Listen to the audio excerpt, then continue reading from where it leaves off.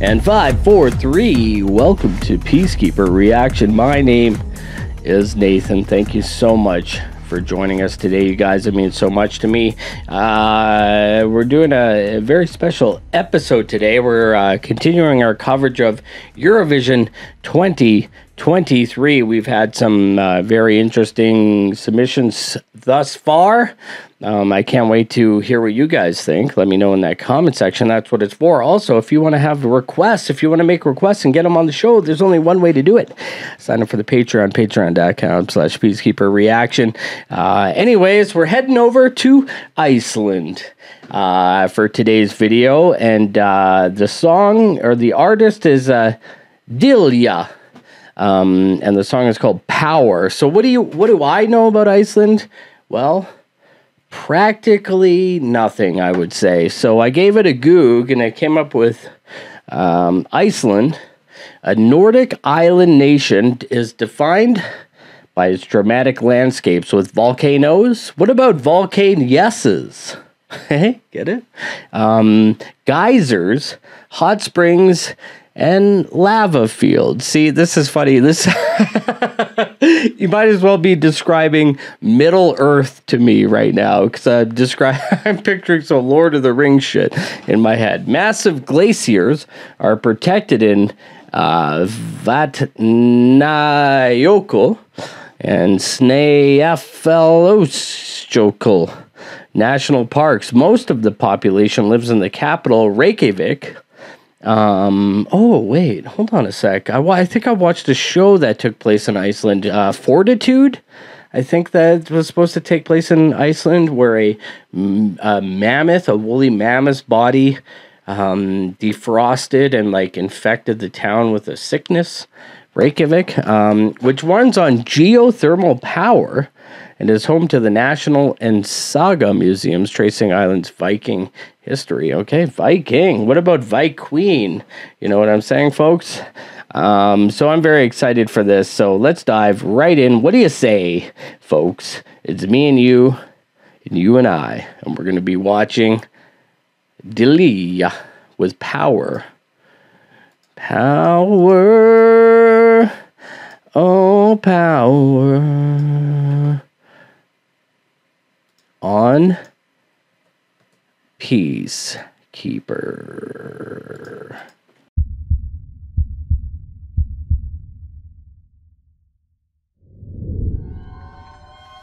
I'm ready to let you go. Won't hold you back no more. And go and spread your wings and fly away. Been carrying you way too long, obsession. I thought you were a living part of me, but I got my power